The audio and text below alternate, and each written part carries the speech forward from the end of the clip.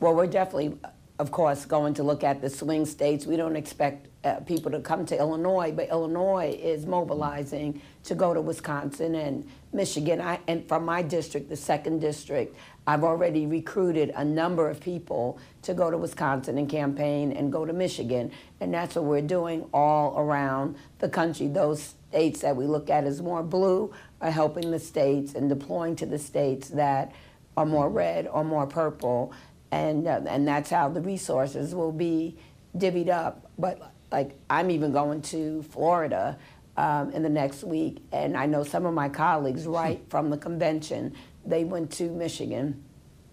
Mm-hmm. Well, Michigan makes sense to me. Florida is interesting. We're hearing more and more about what the Sunshine State might mean in this campaign. And God, I'm old enough to remember when that was the state you had to win. That was the swing state. And you wonder if some of these red states are turning purple in the ways that the Cook Political Report, and Sabato's Crystal Ball are suggesting. Congresswoman, you're on the Committee on Energy and Commerce.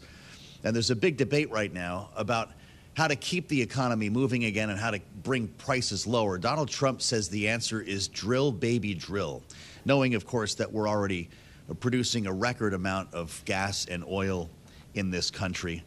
Uh, would that work to bring prices down, drill baby drill, starting his first day in office. What would that mean for our economy? Well, like you said, we're already drilling, so I don't know how much that would work, but we do have to work on lowering costs because even though we know things are better, there's a lot of positive, but still some people are not feeling it. So we have to keep continuing to look at the kitchen table, the grocery stores, what the gas prices are, even though those have come down some too, interest mm-hmm. rates and things like that, because that's what touches people every single day. We can say what we want, but people go grocery shopping every week. But there's, you know, just like housing, we have to look at, but like legislation that we've passed under the Biden Harris administration will help bring uh, people into the middle class. There's been a lot of jobs uh, created, good paying jobs, and we have to keep doing more of that.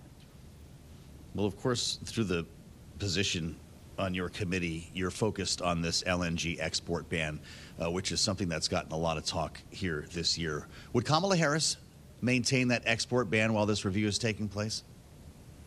I'm sure, you know, I don't want to speak for her, I shouldn't say I'm sure, but she probably would wait until, you know, she got all the facts uh, before she made a decision. She seems like you know, she's a strategic woman and she's going to look at everything before she jumps to make a decision.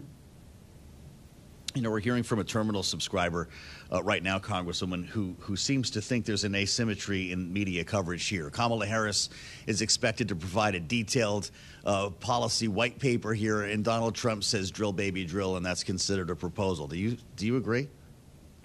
I do agree. he has a lot of little slogans that he puts forth, and people accept that. When he says the um, uh, crazy things he says, people just say, oh, that's Donald Trump. And it just seems like we're held to a higher standard. I have always felt like that. And uh, he could get away with things because he's Donald Trump that other people uh, cannot get away with, cannot say, uh, you know, uh, they have to prove themselves more. And I feel that's very unfair. And I'm sure because of uh, her being a female, a woman of color, uh, that's even more pronounced.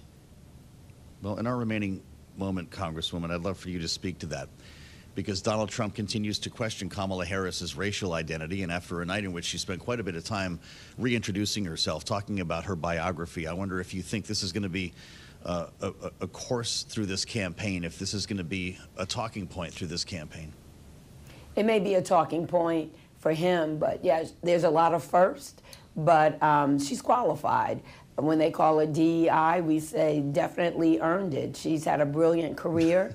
she's been a good vice president, and he's the last person that she should have to prove herself to. But she's making her case, and we're going to help her make her case.